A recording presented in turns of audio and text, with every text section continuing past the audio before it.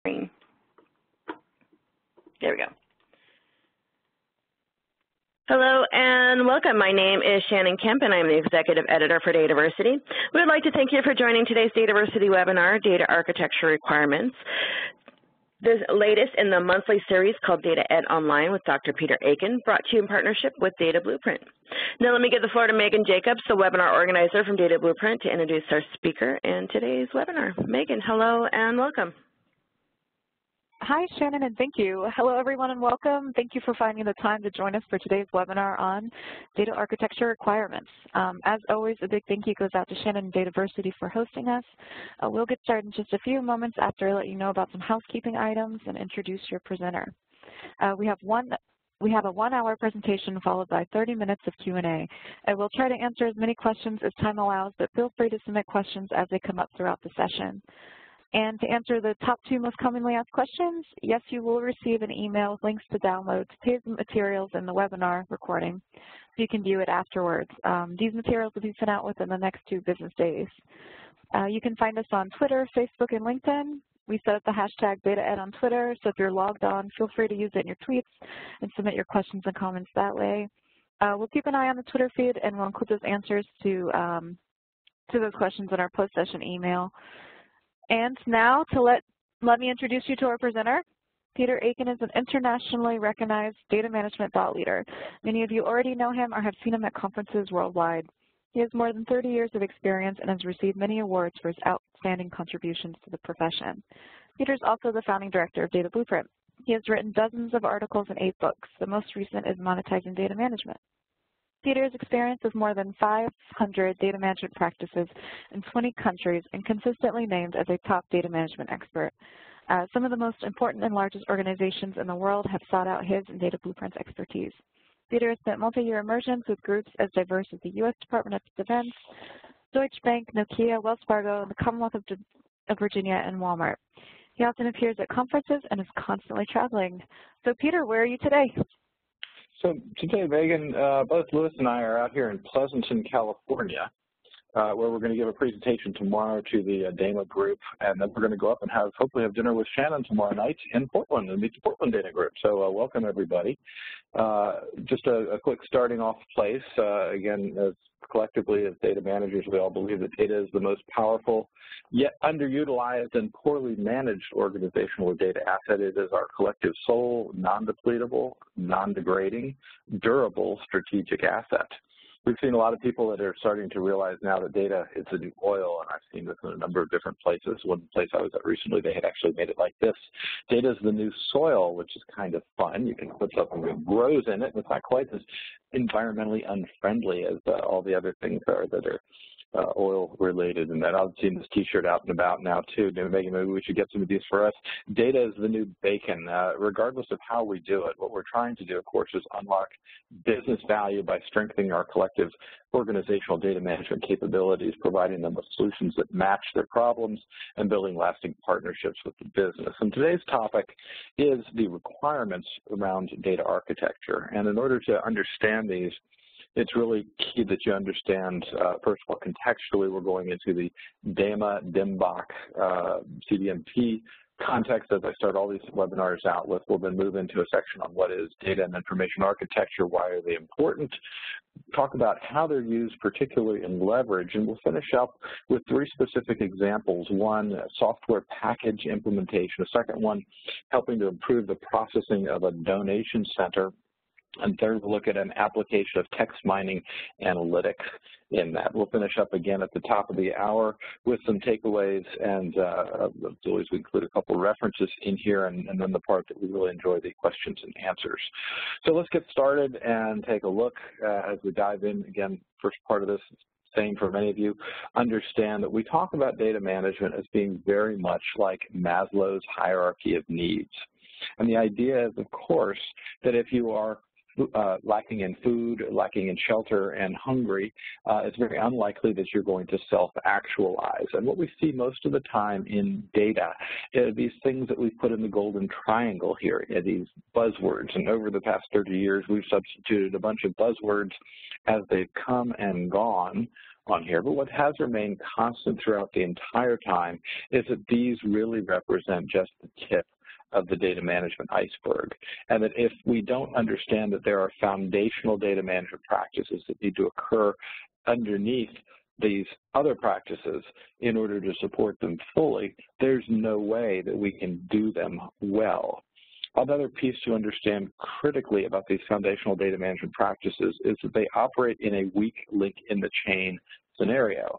So on the uh, little example that I'm showing you here, the data platform and architecture piece has a weak link in the chain because of the, uh, obviously the paperclip that's holding together that chain. It's not as strong as the other chains that you're seeing there.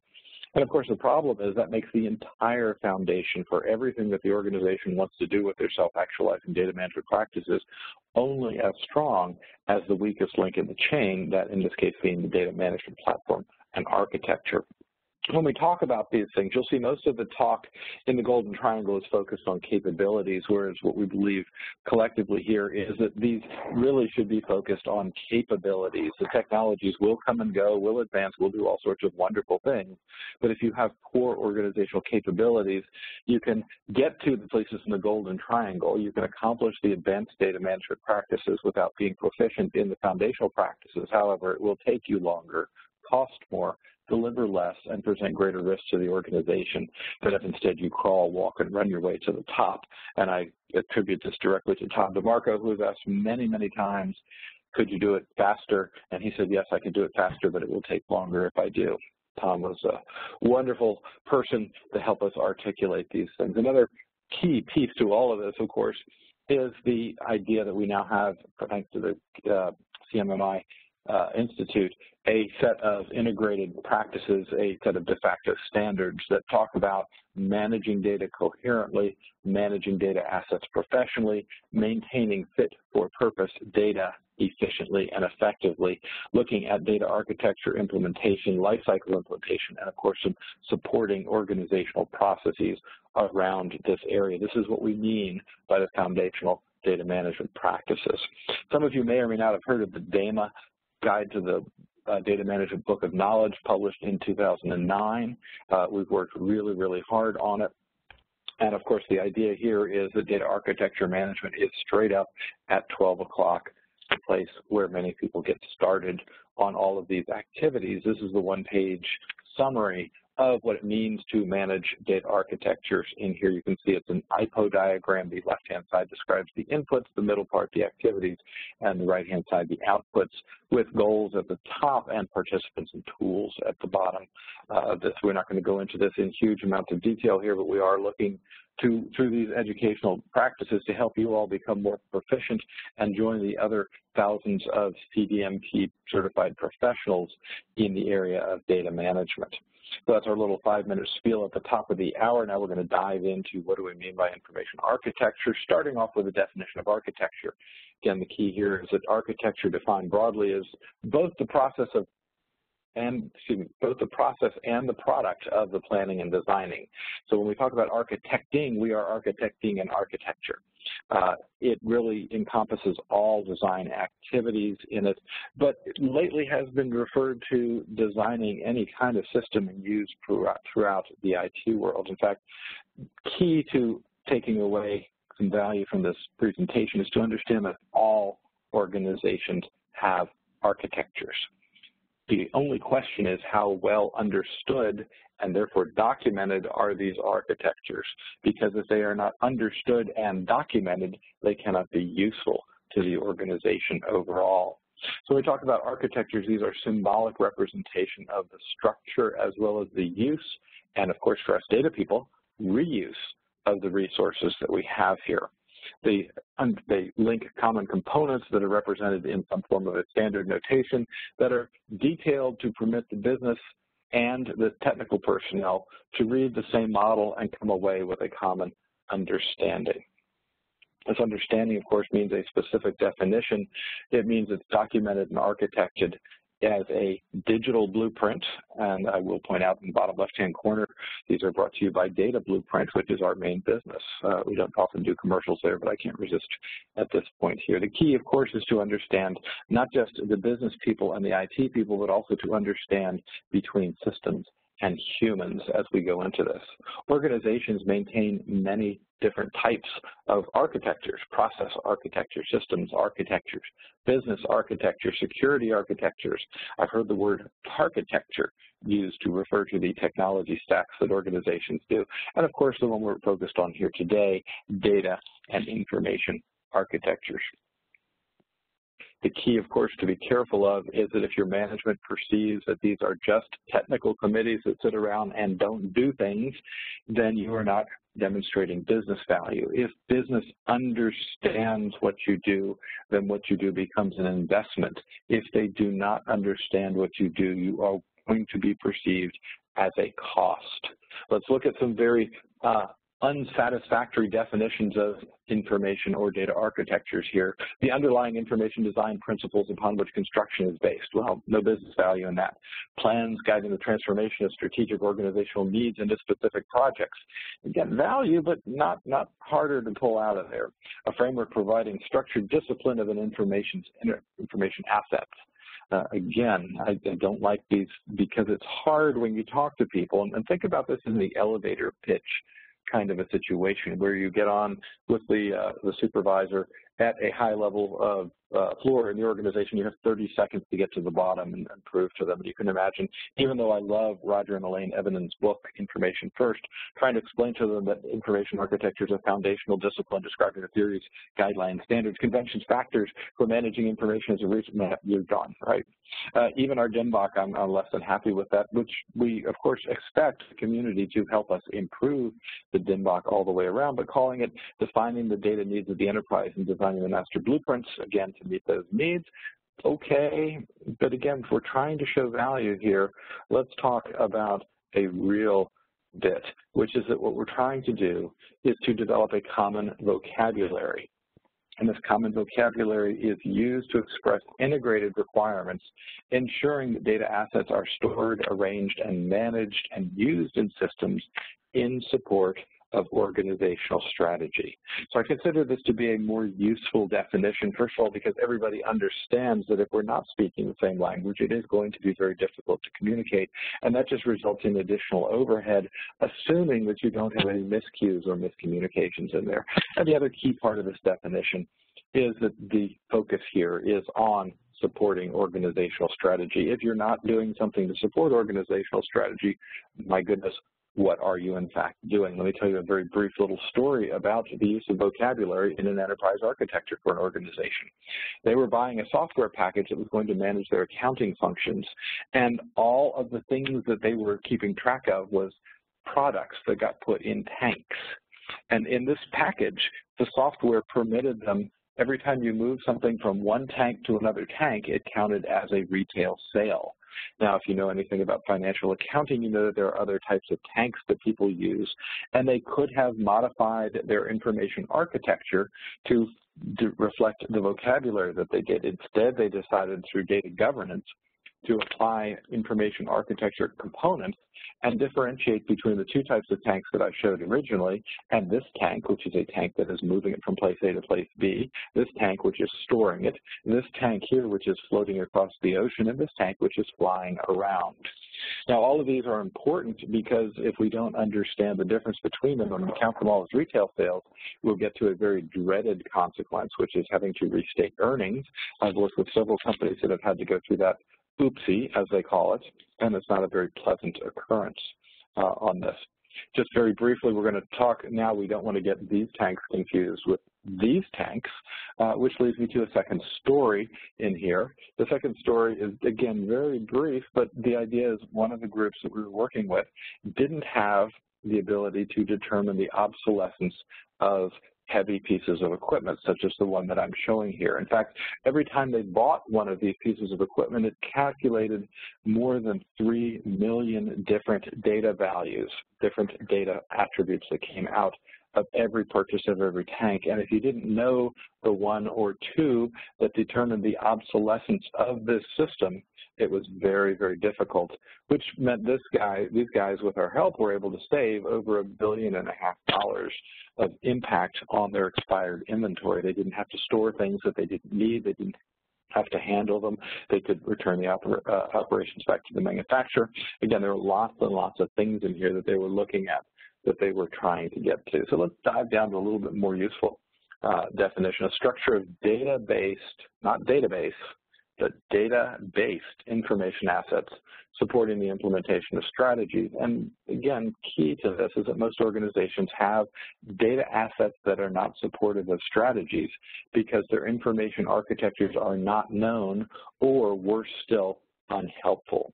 So the question becomes really, how can organizations more effectively support use their information architectures to support their strategy implementation. And a good place to look to are your web people. Your web people really do understand. They make graphics like this one that show that the information architecture connects the it has the classification and the hierarchy of the vocabulary that's in there. It has tags and labeling. It has navigation and wayfinding and search capabilities, connecting people, in this case, through a website to the content that they need to have great piece. We'll come back to some more web-based architecture implementations here, but that's not the only part of it. Think about when somebody is building things in a traditional IT project mentality. They may say that programs A, B, and C, in fact, share some data, so we're going to connect them using a database. And this database is used to connect for domain one programmed A, B, and C's data and allow them to reuse this information. But if you're focused at a project level, when somebody goes to implement programs D, E, and F and use the green database down in the bottom right-hand corner, there's very little opportunity unless you formally put it in place. It's not going to just happen that the D, E, and F programs will be able to reuse any of the common data elements from the ABC database. And of course, this applies over and over again in organizations. What we're talking about from a data perspective is that the architecture has greater potential business value. The focus is broader than just the software architecture or any individual database architecture. It's a system-wide use of all the data because, of course, problems come in when we're trying to exchange or interface this data with everybody else's. So our architectural goals are much more strategic than they are operational in nature. Data architecture then is important because it is poorly understood. It's not very easy to calculate data asset value there. It's often been inarticulately explained, not necessarily within our domain, but outside of our domain. I'm showing a picture of a disguised database system book that is in the upper right-hand corner that is a typical book of what many of our undergraduates and master students use. It has a thousand pages on how to build databases and very little explanation on the indirect effects of not understanding the broader information architecture that you need to have in order to implement this. And it ends up costing organizations millions in productivity, redundancies, siloed efforts, or poorly thought out software purchases. And I'm going to pick on healthcare.gov right now just because most people have that in their minds and remember it. Now, we know that one of the primary problems with it was that there were 55 contracting organizations, in there. that was simply too many. And, and a, a, very good quote by Jim Johnson, uh, chair of the Standish Group, says the real news would have been if it actually had worked, uh, that would have been a success in and of itself. But interestingly enough, the software that was programming some components of the system was using traditional SQL-based data management technologies. But another contractor, one of the other 55s, had incorporated big data technologies into this. And the one group would say, tell me what SQL to write, and the big data group would say, I'm sorry, SQL is not going to work here. So it's not widely known that the incompatible architecture pieces that they had were at the root cause of some of the failures that occurred in the healthcare.gov rollout fiasco. Here's another example if you are looking to purchase software, I always recommend that you use your purchasing department and ask them to give you a model, logical data model of the system that comes in. First of all, if they can't figure out what a logical data model is, many purchasing departments are now not letting them come in there. So about half the vendors out there are saying, terrific, a smart customer, we'd love to talk to you to see whether our package is in fact compatible with what you're looking at uh, in here. Now here's an example from a, uh, a DoD organization. A person should be related to an employee by a business rule that in, again, our more or less business, uh, excuse me, technology speak, uh, says zero, one, or more employees can be related to one person. That's a, a great correct business rule, but again, if you go think back to the elevator speech, very unlikely that the chief executive is going to understand what you mean by that. But if you say to them, we need to make sure that moonlighting is supported so that somebody can work for part of our organization during the day and then another part at night so somebody doesn't have to go around and calculate manually every year the W, uh, the tax reporting forms that would go into this. Uh, again, another example on this thing here is a, business rule number three I'm showing in the bottom there. Zero, one or more employees can be associated with one position. Well, again, that's a, a, very, very correct business rule, but it does not describe the concept, which is job sharing, and saying that, in fact, it's real important for our system to be able to handle the fact that somebody may work this job from morning hours and somebody else may work this job in the afternoon hours. Again, just an example of how this works. A couple more quick ones. Here's a query that we found in one of the organizations we were working with. It was just simply had never been optimized as a very, very difficult, dense query. And by simplifying it, we were in fact able to make it easier. Uh, I don't ever claim that we're going to get all the way to easy, but if we understand the architecture better, we can do a better job with our queries because what happens in many organizations is that this process, these queries are run hundreds, thousands, millions of times, resulting in what we call death by a thousand cuts to the organization as they try to do more with less, but at the same time not realizing how their architectures are really a hidden expense. So the lack of a coherent data architecture represents a hidden expense by costing money to the organizations. And again, I hit this question earlier if you don't explicitly design your systems to work together at the most granular level, which is the data level, then it's unlikely that they will just happen to work together. And of course, they cannot, the architectures cannot be helpful as long as their structure is unknown. So I've got a little book on this. It's actually the subject of the webinar that we've got coming up next month uh, on this. But really showing that organizations spend between 20 and 40 percent of their IT budget migrating data, converting data, and improving data. And of course, John Zachman was the realizer of this particular piece. If you do not know who John Zachman is, please ask us some questions at the end. Uh, I'm sure he, like everybody else, is going to be congregating in Washington, D.C. at the end of this month for our big conference, Enterprise Data World. The goals then for data architecture must be making sure that we have a shared IT and business understanding as well as the systems on there, that the sharing is highly automated and thus dependent on successful engineering concepts, which we'll come around to in just a little bit. That these modeling characteristics change over the course of your analysis, that there is a motivation uh, for doing all of the modeling. Now, many people define things in their models. Uh, Clive taught me to motivate, to put motivational purpose statements in there to say why are we collecting this information because it does get closer to the requirements than instead of just simply defining components. Uh, again, the use of modeling of any sort is much more important than the selection of a specific method because the modeling documents are living documents. They're going to adapt and hopefully will evolve over the time period. Uh, these models must have access to modern search technologies and that they provide utility I worked for one uh, CIO who, over the years, just never really got what we did in his organization. He said, but Peter, when I travel to Tokyo and Bangkok and, and Hong Kong and Singapore, and I see your models on the wall, people aren't putting them up there because they're pretty pictures. They're putting them up there because they're extremely useful, and there's clearly some business value in them. Excuse me. now, understanding architecture is very important, and many people laugh at this particular piece of a, a diagram of a house.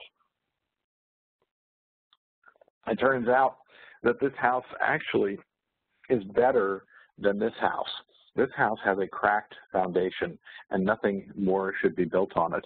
But this first house that I've put up here actually does have a good foundation, a solid foundation, and while we wouldn't want to put a swimming pool on top of the roof, it is possible that we could add another layer of functionality on here. So knowing and understanding the principles of the architecture are much more important than most people realize. Again, most people don't even think about it. They assume that everything they're buying is a wonderful two-bedroom house or whatever it is in there.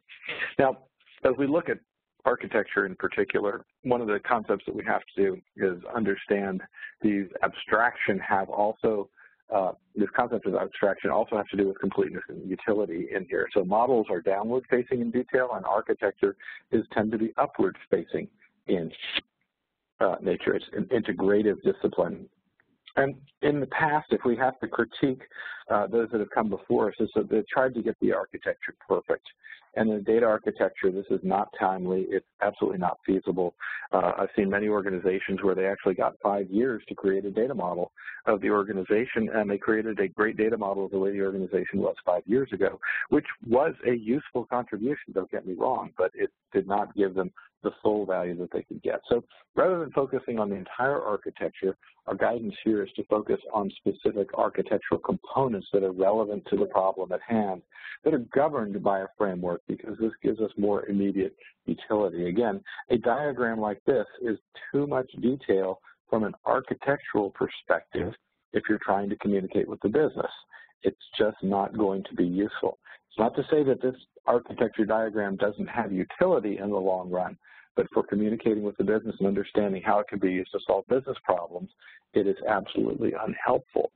Here's another one. This is, again, one of the web diagrams. I'll call it Jeff Kern design for these. They're very nice articulations here, where it's just an overview of showing how the web developers are using information architecture within a single application to connect users with the data that they have. This is too much detail. This is perhaps the right amount for some uses, and here is maybe a, a use that could have been done in the elevator speech Uh, here, where you can look here and see that the user experience consists of a information architecture component with user research, sitemaps, wireframes, and testability, but that the user interface also then has a visible vocabulary, interface design specifically, and HTML and Flash implementation components, and the content strategy here all make up these architectural pieces. What we're trying to do, of course, with all of these architectures is to organize details into components, organize these larger components into models, and the models then become organized into architectures. The data models expressed as architectures start off with the attributes that are organized into the entities or objects. The objects are then organized into models, and the models are organized into architecture. And in this case, I'm showing more granularity at the top and more abstraction at the bottom. It's okay to flip the chart and do it the other way. The point is to be consistent and not confuse people. Data must be architected in order to deliver value. So here's our definition of data. I use this a lot in my talks. The number 42 is my age let's see, uh, 14 years ago. Okay, so that's a pretty irrelevant fact and a meaning. Maybe you'll remember it, maybe not. It also has a second meaning of being the meaning of life. Uh, those of you that read Douglas Adams' Hitchhiker's Guide to the Galaxy will understand that little piece of it as well. But none of that is helpful as data until we supply it as information in response to a request. Is Peter old enough to drink? Answer, yeah, he's definitely old enough to drink. Uh, on the other hand, how do we make use of it from a strategic perspective? And the key here, of course, is saying, well, if Peter is old enough to drink, therefore we can market to him some things that may be uh, interesting for him at the end of a long day or a long plane flight or whatever it is. Now, the other part of this diagram that's important is to notice that if we don't have a data architecture, we can't have an information architecture. The data architecture is a necessary but insufficient condition. On the other hand, if we don't have data architecture and an information architecture, there's absolutely no way that we can come up with what the business intelligence, the analytics, whatever it is that we're looking at and calling it this particular decade uh, can be useful here. So we had a little screen glitch there, but again, if you don't have the data architecture, you can't have an information architecture. If you don't have the information architecture, you have a very poor foundation to strategically use your data in the long run. This diagram goes back to Dan Appleton's uh, time at DOD when we were both together there in the early 90s. It's been very, very useful to articulate this ever since. And the other thing that I would also caution people is they say, can I call it an information architecture or a data architecture? If you don't manage your data and information together, you create even more problems in your organization. So just pick one thing and be consistent and call it. Some organizations prefer information architectures, others prefer data architectures. My point here is that they are so close that trying to manage them separately is more work than it should be in any other way to do this. Uh, again, thanks to Dan Appleton for that. Let me give you another example of an architecture support in a restaurant context here. Now, if my restaurant is serving dishes and the goal is efficiency, then any dish we'll use, uh, that we use is the right answer to get to efficiency. Uh, on the other hand, and those are the bottom dishes, by the way, the, the you know, just pick the next one off the plate. Uh, on the other hand, if I'm in a, a, fairly fancy restaurant here, for example, in San Francisco, uh, where there are a lot of fancy restaurants, and every dish has its own unique physical plate, you know, you're serving peach cobbler, it gets a peach cobbler plate. It means when I drop a peach cobbler plate or have no clean ones, I have to go find a specific peach cobbler plate uh, in order to do that. That does not necessarily promote efficiency and effectiveness goals or dexterity on the organizational part. So all of these examples are designed to see that your information architecture, your data architecture should address a series of questions how and why do the data components interact with each other? Where do they go? When are they needed? How and why will the changes be implemented? What should be implemented organization-wide? What should be implemented locally? What standards should be adopted? What vendors should be chosen? You can read these rules here. The key is who's going to coordinate these things if it's not the data architecture group. In addition to that, when we look at data architecture, it should, of course, be developed in response to organizational needs. The organizational needs articulate and become instantiated into this data and information architecture that then authorizes and articulates certain information system requirements. Notice there's a precedence order in there as well, and I, I, very strongly believe that these things must precede systems development. Of course, if we don't have a feedback loop on it to say how are we doing, because we never get anything perfect the first time, Uh, we have an issue there as well. So we need to have some feedback to say, hey, how's it going and what improvements can we make along the line. But this also addresses another fallacy that many organizations understand. Oh, the information architecture is done. No, it's not. The information architecture needs to evolve as the organization evolves through. So let's move on now a little bit and talk about information leverage in here, data leveraging. And the key, of course, here is that we need to understand that it is not simply a function of technologies. Again, data leveraging is an engineering concept. If I use this graphic that I have on the chart here, you can see that it involves people and a process and some technologies, and that the people pull on the lever, the lever sits on the fulcrum, and the process is people pulling on this. With our data, we need similar types of things. Within the data and with our organizational data exchange partners, we need to obtain leverage that is implemented by the uh, that is implemented with data-centric technologies, processes, and human skill sets. Uh, what we want to do, of course, is eliminate the rot. 80% of the data in your organizations is redundant, obsolete, or trivial, so there's no point in there. And of course, the bigger the organization, the greater the leverage potential exists. By treating data more asset-like, it simultaneously lowers IT costs and increases our knowledge workers' productivity all parts of our architecture evolution can be categorized according to this framework.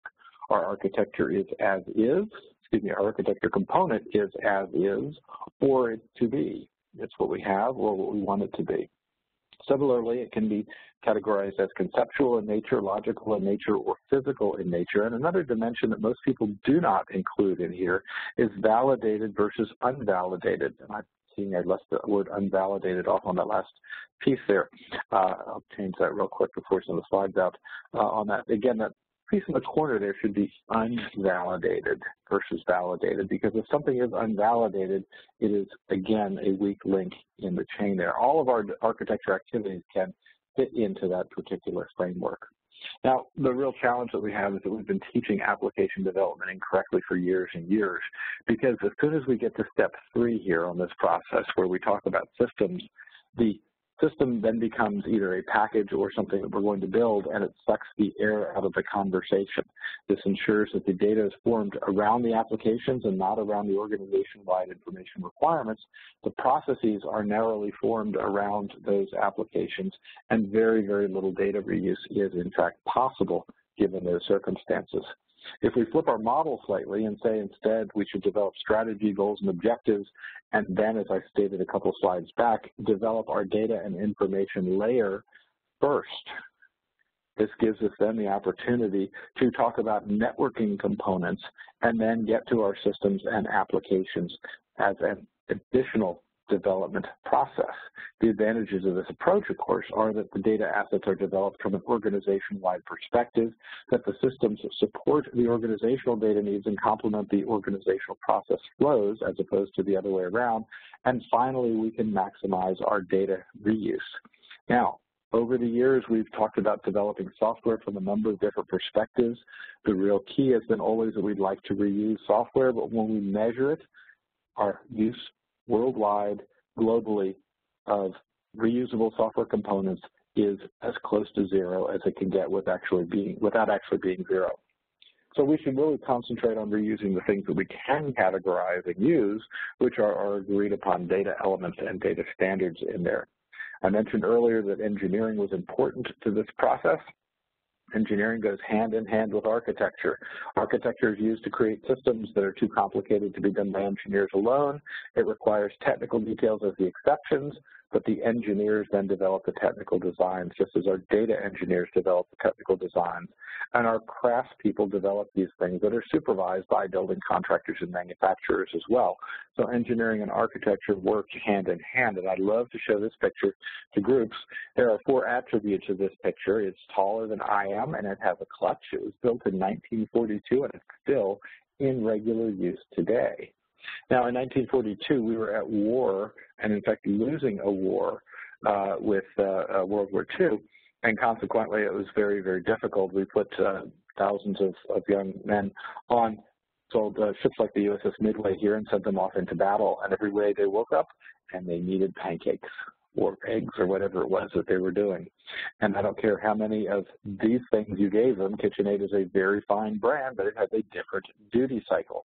You cannot use this mixer to make eggs or pancakes or whatever it is you're going to make for thousands of soldiers every morning and expect it to work for more than 60 years. We didn't know how long the war was going to last, so this mixer lasted a lot longer than we originally thought. And the reason we can do that is because we have a series of engineering standards that we use. People understand what we mean with a set of stairs, a cinder block, nails, certain components that we put into play in order to use. And this is where it becomes incumbent on us as data people to define an architectural work product. And again, I've got an example here from an old paper that we wrote. It's the, the, the architectural work product here is the PeopleSoft version 7 benefits modules implemented on Windows 95. You can tell how old the example is here, illustrating the integration of the three um, PeopleSoft metadata structures, in this case, covering pay, personnel, and benefits. Now, that's a very good component to define our work around. And that's what we should be doing is practicing not trying to get the entire architecture, but trying to define as much architecture as we can and as is needed to get the business problem resolved. Many of you have worked on systems that don't even have this level of decomposition.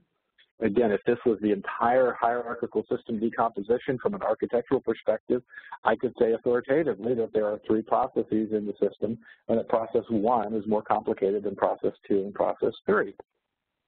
That's if this was the entire system.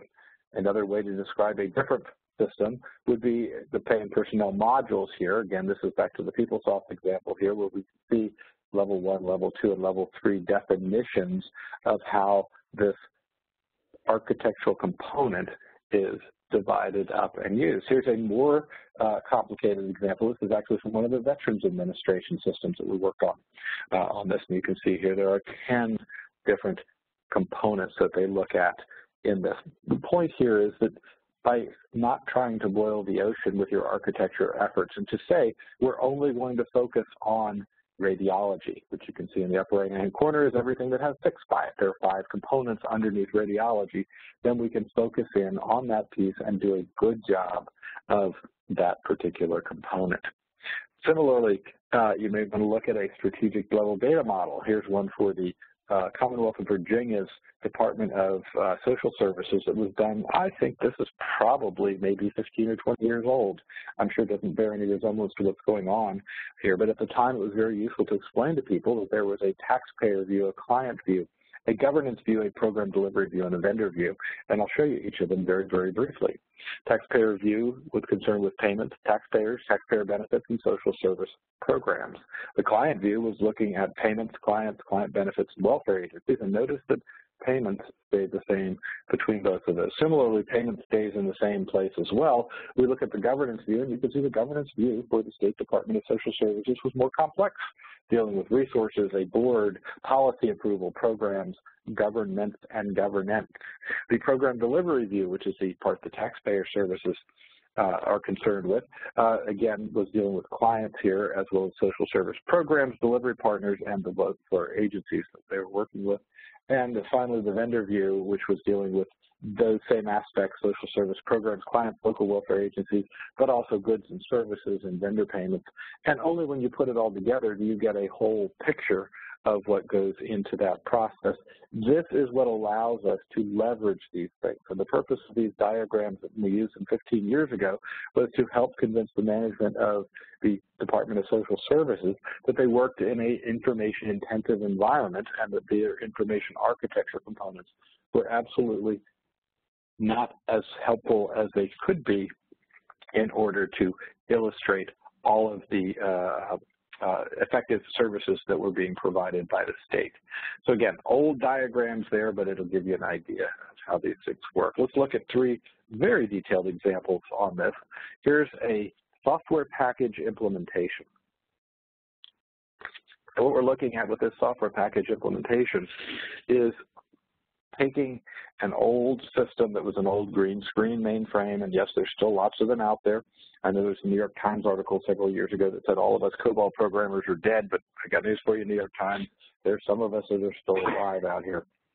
Now, one of the major process changes was that we had an integrated screen up on the left-hand side of the um, uh, piece that you're seeing there in that particular system. And when we put the new ERP in place, it turned out to be that same information on 23 separate screens. That was a big change to the operational processes that we were involved with in this system. One screen to 23 screens required more effort on the part of the users of the system to be able to, in fact, The knowledge workers had to be more adept at understanding this process. And there was another piece that was going in place at the same point in time, which was that we were going to replace all instances of social security number with something called person ID.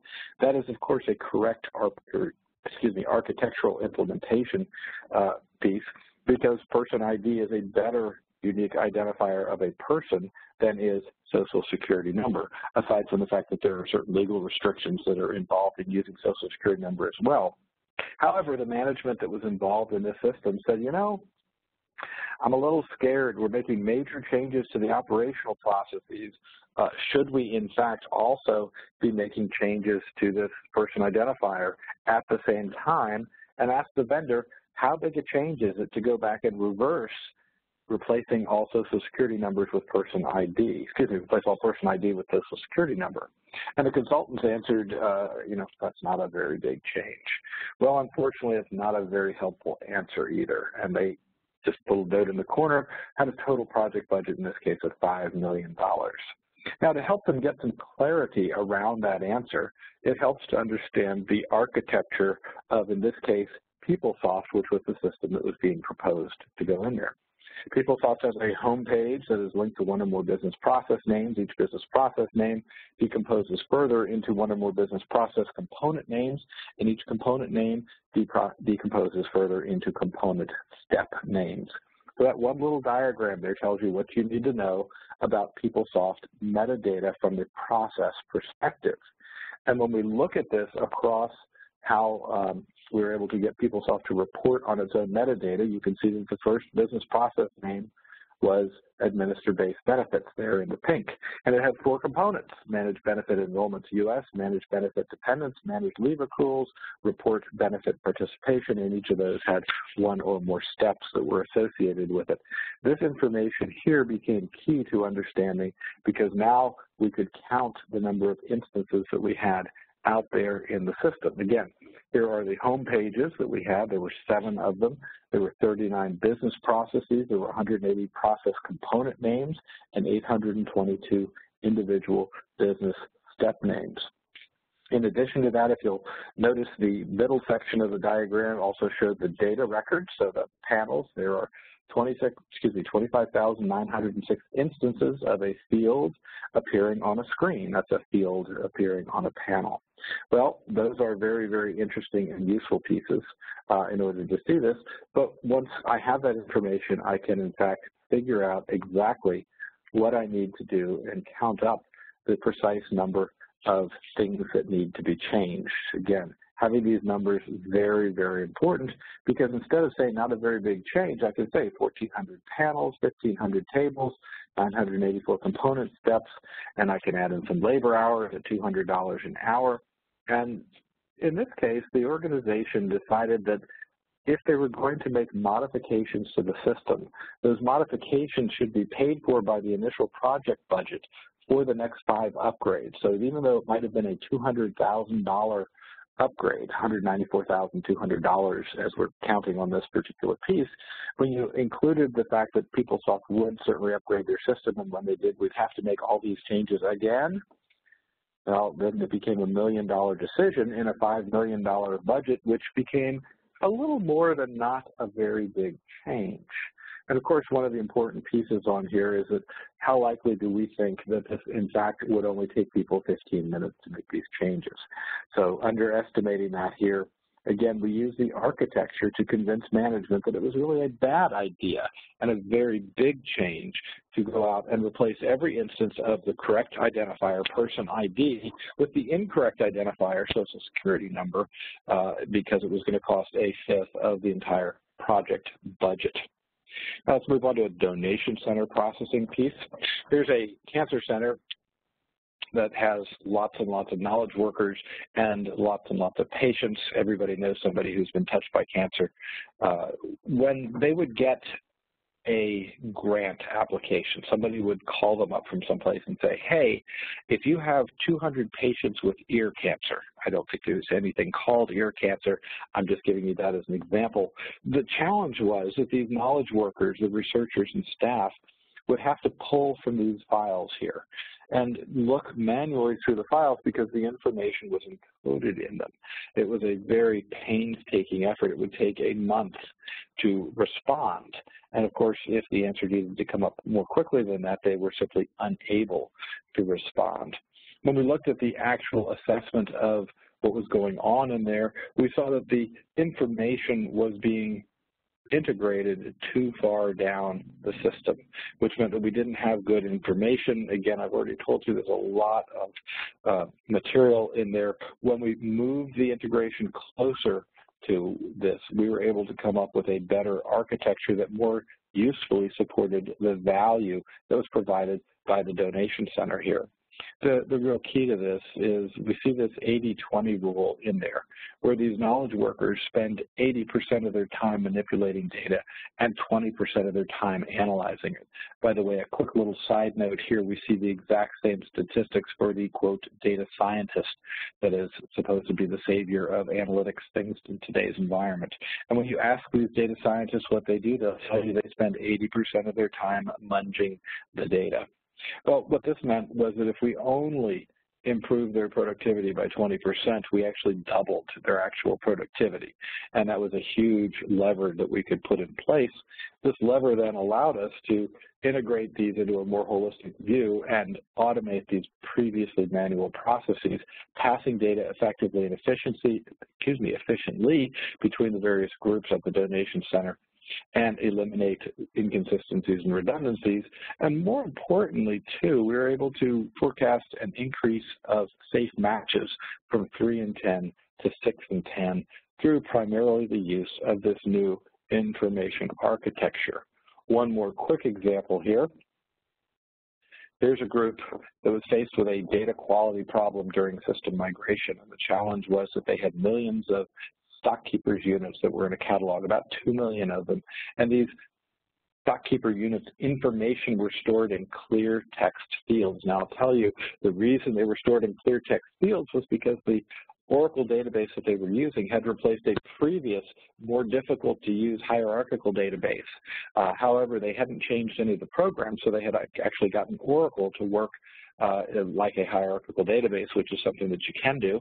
Uh, it's not necessarily recommended, but it, it, worked well for them in this case, so they didn't have to change the program.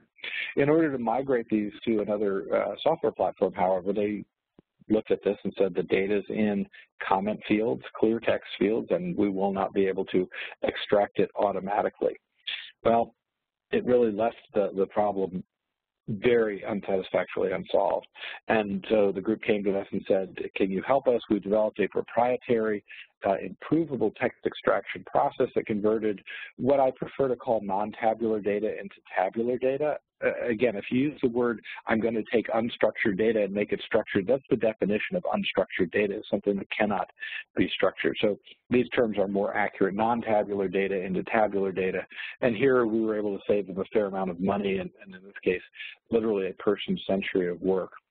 Now, I'm putting these numbers up here because we applied this to an 18-week process, and we were able to hold one end of the equation fixed.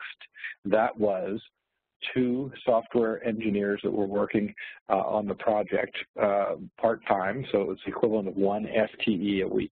We had them work in teams, of course, because Data Blueprint likes the process of collaboration.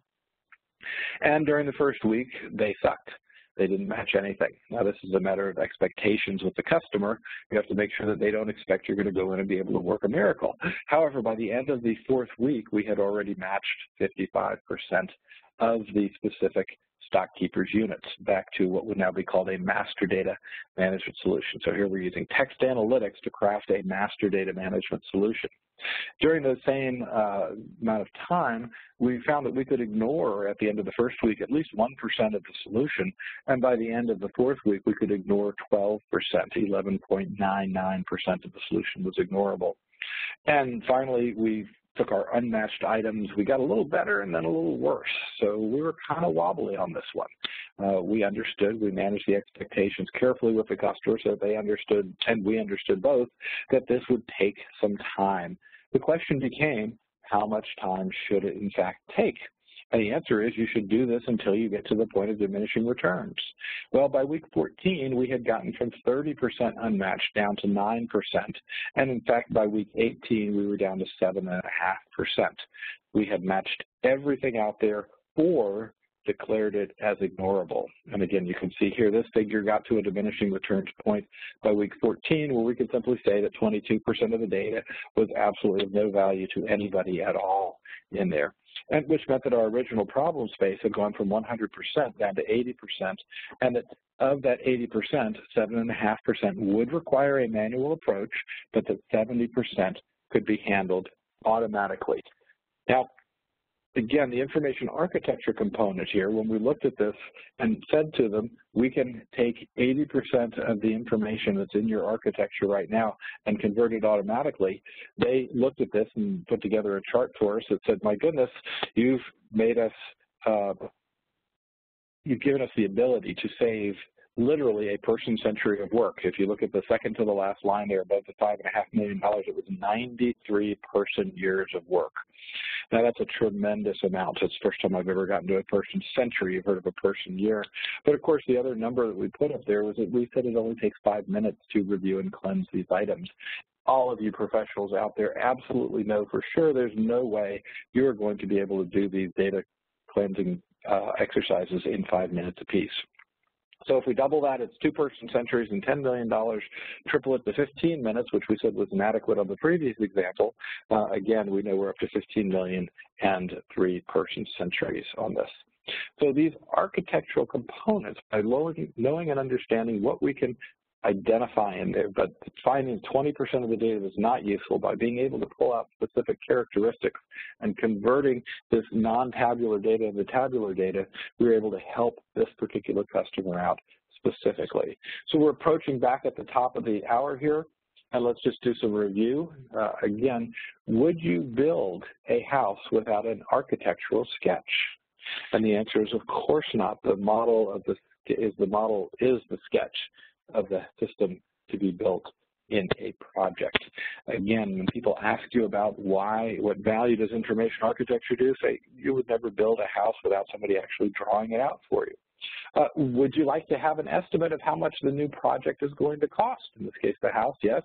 Uh, the model is going to give you a very good idea of determining how demanding the implementation work is going to be.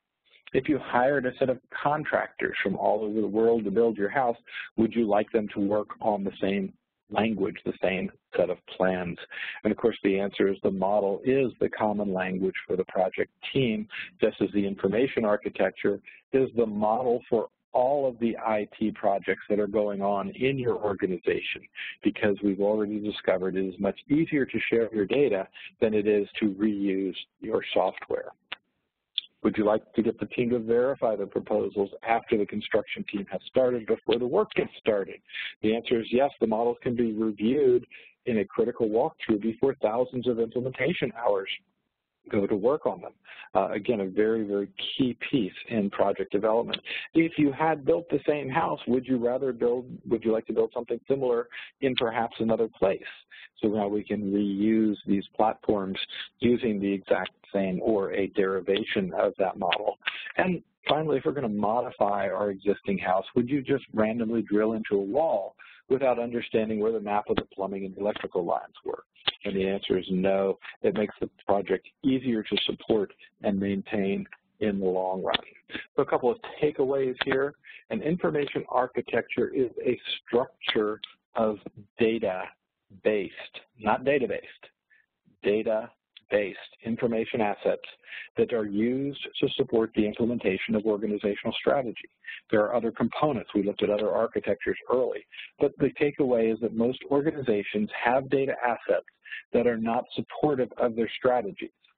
That is, their information architectures are not helpful, either because they're unknown or because they weren't developed specifically to support strategy.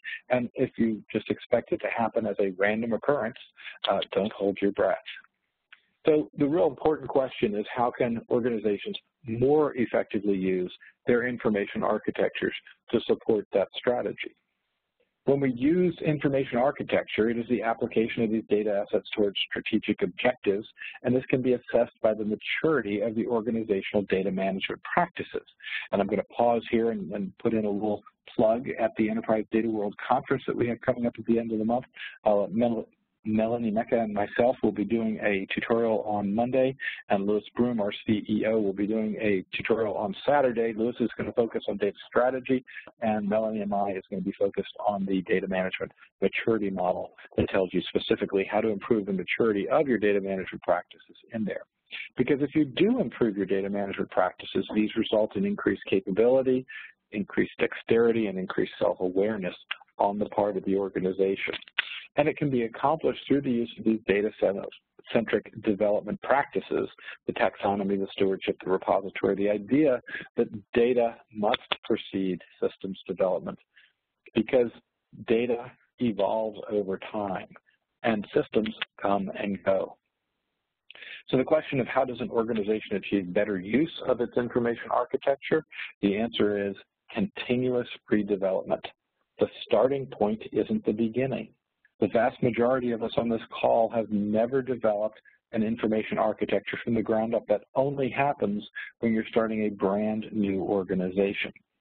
By the way, Data Blueprint's going on 16 years this year, so that is one place we were able to do it. We have helped a couple of organizations out, but the vast majority of our customers end up with existing information architectures that aren't helpful, and in order to make them more helpful, more supportive of strategy, they need to be re-engineered.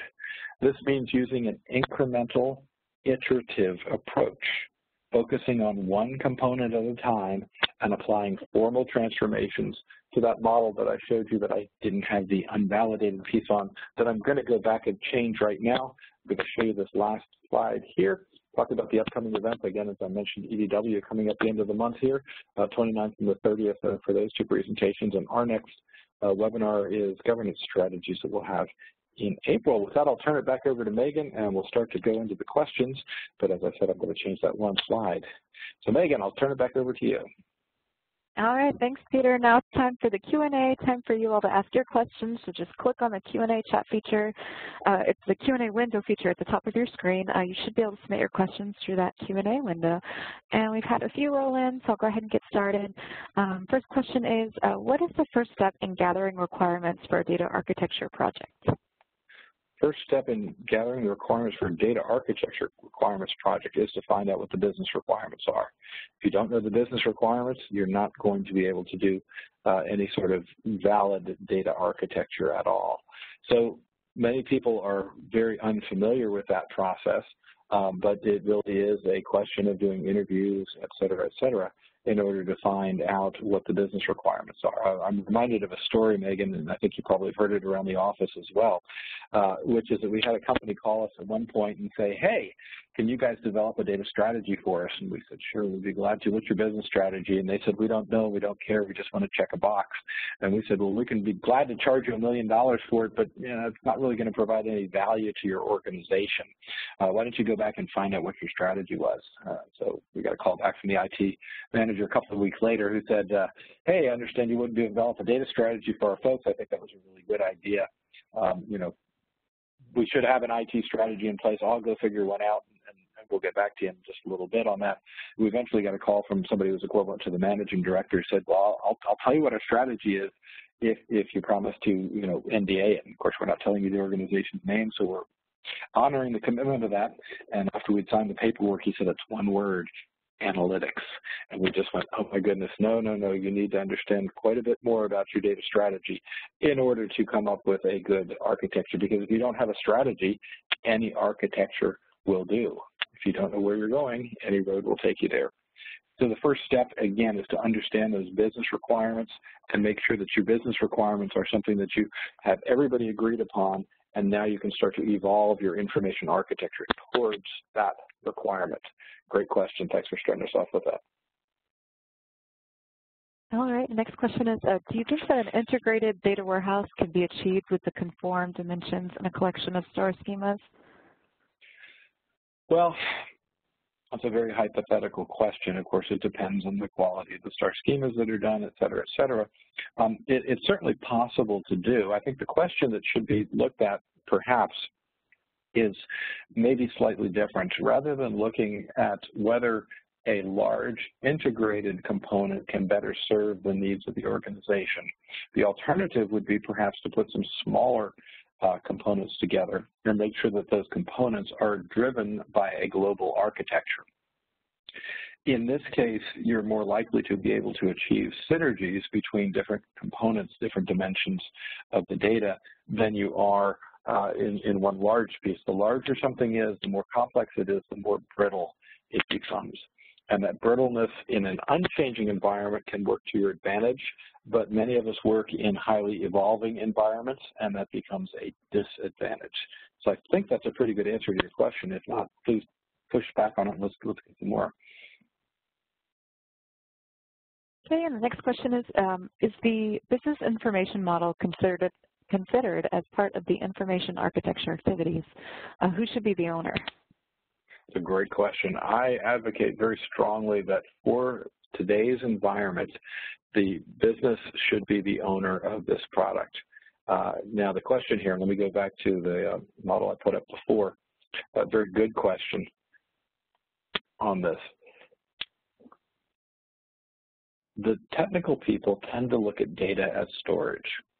And it's just a question of volume from their perspective. They don't really mind what is in the data set, what's going to be used within that context uh, in here. And, and that's not bad. They're not, they're not bad people for doing that. We haven't really taught them that data is our sole non-depletable, non-degrading, durable strategic asset. So these information components here, the data is really what people are focused on at the technical level, the lowest level of this pyramid here that I'm showing.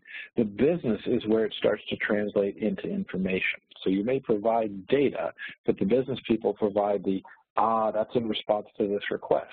Is the order late? Is the order early? IT doesn't care how many orders are late or early, they just care about reporting accurately that information to the business. And of course, if you're going to get better about deliveries, then that looks to strategic use of the information. I have to say I flew out here yesterday on United Airlines, and within uh, two hours of me landing, they had a customer survey to me, and they wanted to know what I thought about the flight. Now, I don't know how United Airlines is using that information, but I'd be really surprised if they weren't using it to improve their quality of service. So the data architecture at the lowest level is focused on the technical pieces, and we add more value and more information and more meaning as we climb to the information and the intelligence level. I didn't mention this earlier, but the intelligence level for a couple of years it was called the wisdom level, and it was also called the knowledge level. Uh, again, this is one of the things that happens when you get to be as old as I am, is that you've seen these things come and go, but the basic structure has not come and gone. Now, back to the questioner's piece, I advocate very strongly that this structure should be owned by the business.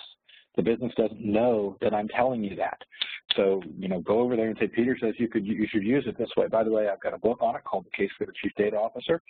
Uh, and uh, it's out there at Amazon, and it, it, I think articulates very, very well. I've had a number of very fine comments posted uh, in the review section there that talk about the specifics of why this should be the case. Now, this is not to say that it should necessarily always be there, and I think ideally it should eventually be a joint IT business type of function, but at least for the moment, we've had such neglect and such undereducation in this area that if we don't push it to the business, it's unlikely to get the time and attention that it needs to have. And the reason for that is because IT is not worried about just data. IT is worried about security, IT is worried about telecommunications infrastructure, IT is worried about software applications, IT is worried about a number of different things that are very, very difficult to focus on and asking them to do more with their data hasn't worked well in the past. So we should have no expectation that it's going to work well in the future. And instead, what we should say is push it back over to the other side.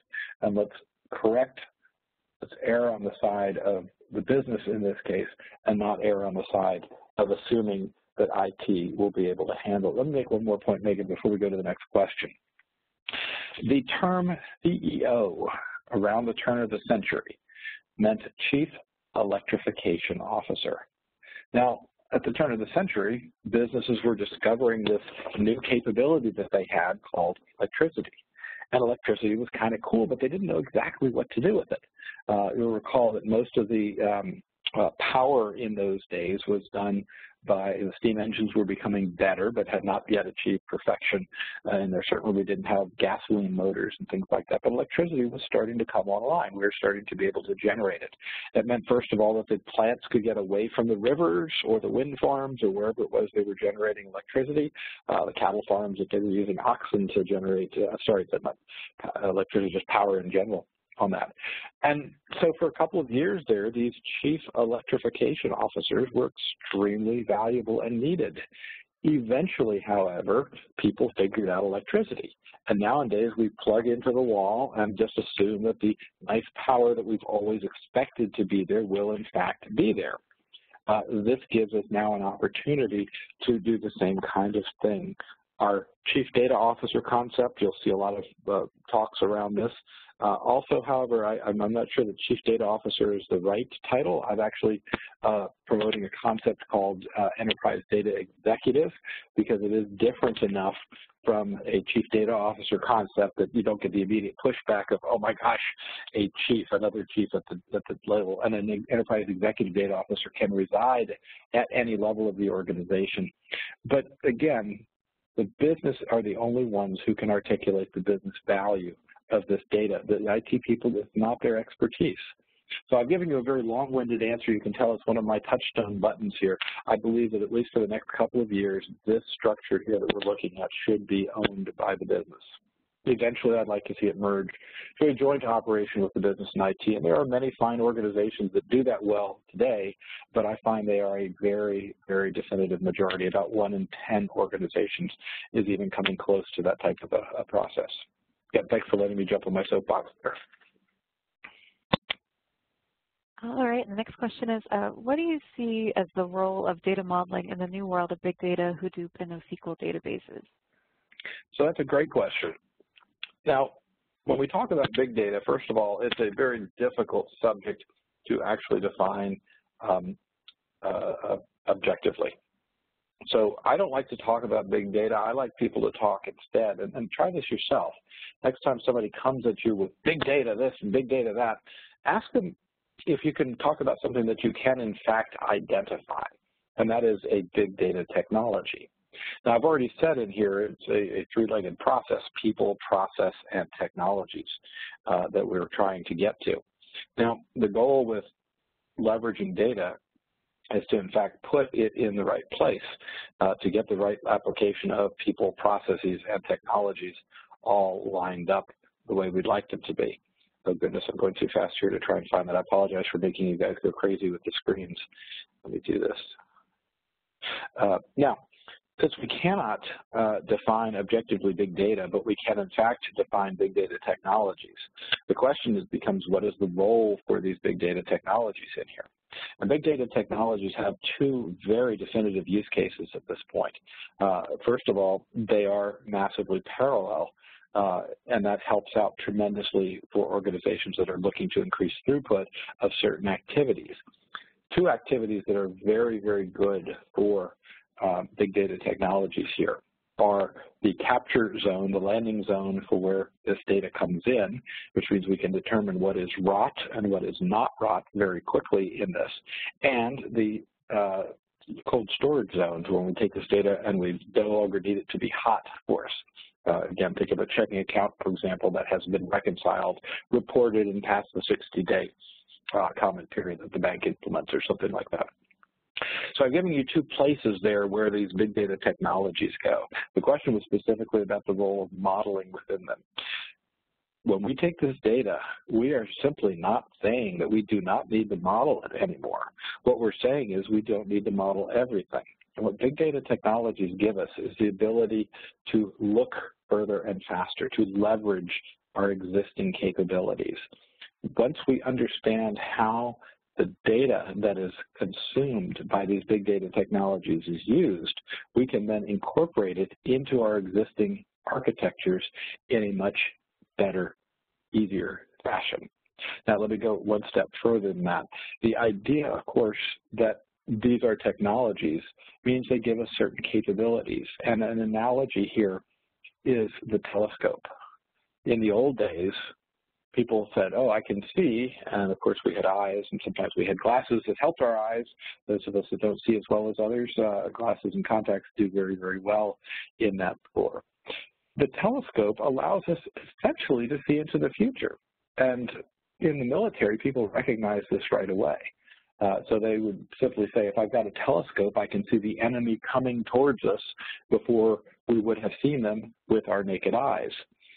Now, big data technologies allow us to do this. They can allow us to more effectively model. They can allow us to understand profile, uh, be able to quantify the qualities of things that we're looking at Uh, in order to do, do all of this and to take data that may be redundant, obsolete, or trivial and get rid of it quicker and sift the wheat from the chaff more effectively in here. So I look at big data technologies as a wonderful opportunity to show people how modeling can in fact help us in the longer run because by using these big data technologies, we can get to models that are useful to the organization much faster. Again, I hope that answers your question. You can tell it's sort of one of my hot button items too, because we're seeing a lot of promises around how big data is going to solve all of our problems. And you know what? It's going to help, but we still have a lot of work to do before we can push a button and everything will be magic for us. Again, thanks for the question.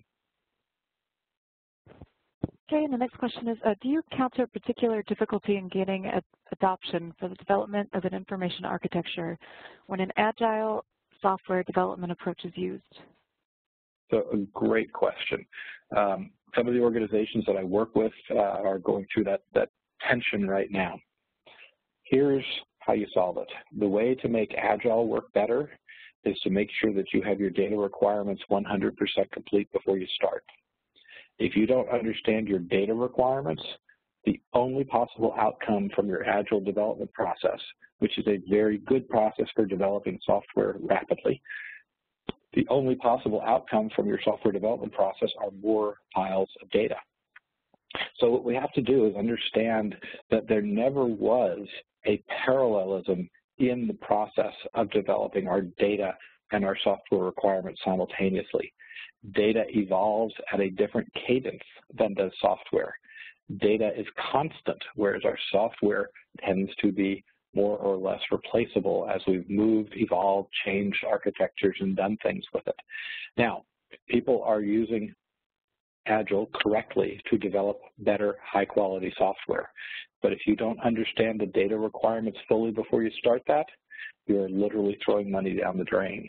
And what happens is people end up with small piles of data that gives them less integration and the value that they get from the improved software development practices is offset, and I have a slide on that as well, by the cost of, in fact, having to go back and integrate the data.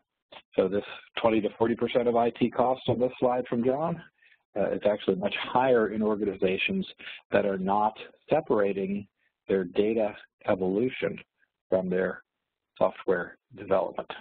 Again, very important part, great question. Thank you for asking. Okay, and a follow on from that question is, are there specific strategies you've used in this case? Well, yes. I mean, again, the strategy is very much to simply separate the two of these activities out. Our data requirements can be defined, and if we understand fully the data requirements, uh, then we can use that as a gateway on whether we should, in fact, go in and develop the data. Let me put up a different chart here. Uh, on this, again, we're talking here about the pervasive use of data throughout our systems if we're developing or redeveloping program E in the bottom right-hand corner there, and we don't have a full understanding of the data that's shared in the green database, much less the data that is common across the orange and gray databases, uh, the only possible outcome that we can have there is, is to have E develop some very good software very using a very good method. Uh, but again, if you don't have 100% of your data requirements nailed down before you start that effort. If you're trying to do it at the same time, the only possible outcome is confusion, which means that you will end up with small piles of data that is unintegrated. So again, data evolution is separate from, external to, and must precede systems development activities.